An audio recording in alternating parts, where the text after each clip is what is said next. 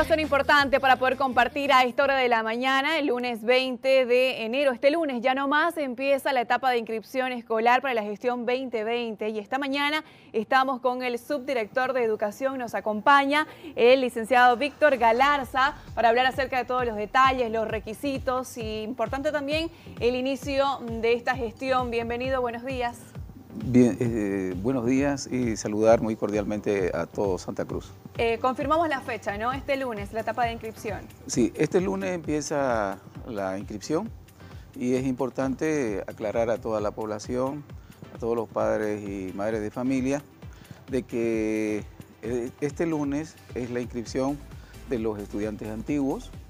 Los antiguos son aquellos que estaban ya inscritos en la escuela, en la unidad educativa, y de forma automática el director de la unidad educativa con sus maestros inscriben al siguiente grado.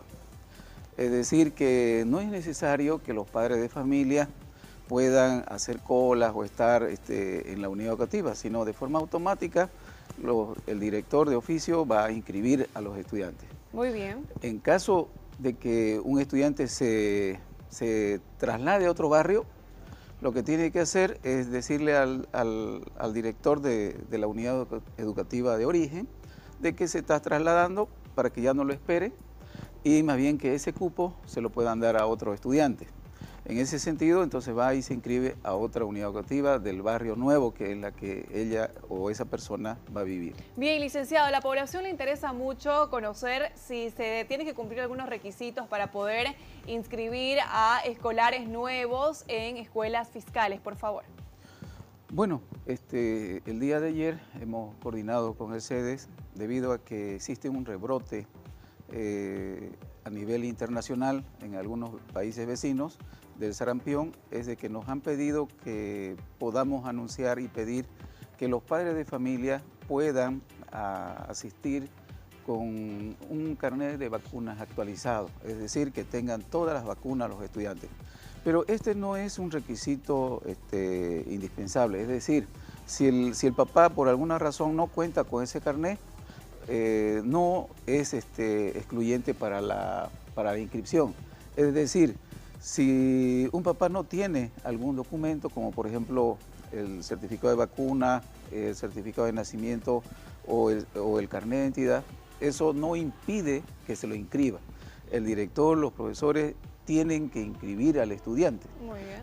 De tal manera que en los próximos días o en las próximas semanas, hasta aproximadamente unos tres meses, ellos deberán eh, llevar esa documentación faltante. Ahora, ¿la cédula de identidad es también requisito o no? Esto para darle a conocer a la población porque ya ahora la gente empieza a hacer largas filas también en el CEGIP.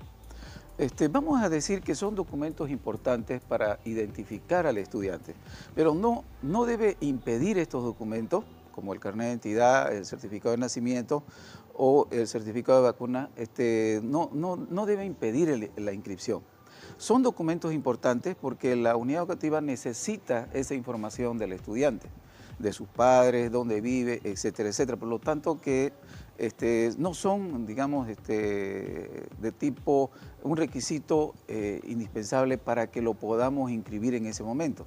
Pero sí, el estudiante deberá actualizar sus datos en el transcurso de los primeros tres meses. Muy bien, licenciado. La Dirección Departamental de Educación, ¿de qué manera iniciará los trabajos a partir del día lunes en cuanto a las observaciones en esta etapa de inicio de inscripciones?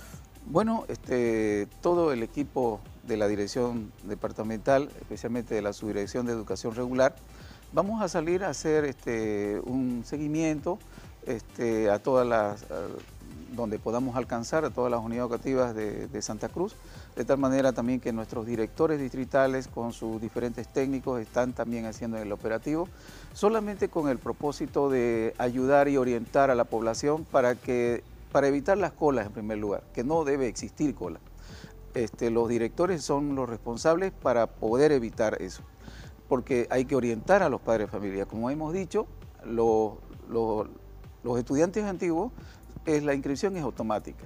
Los nuevos, que ya se hicieron la preinscripción el año pasado, en todas las unidades educativas de alta demanda, ya se ha ejecutado el año pasado.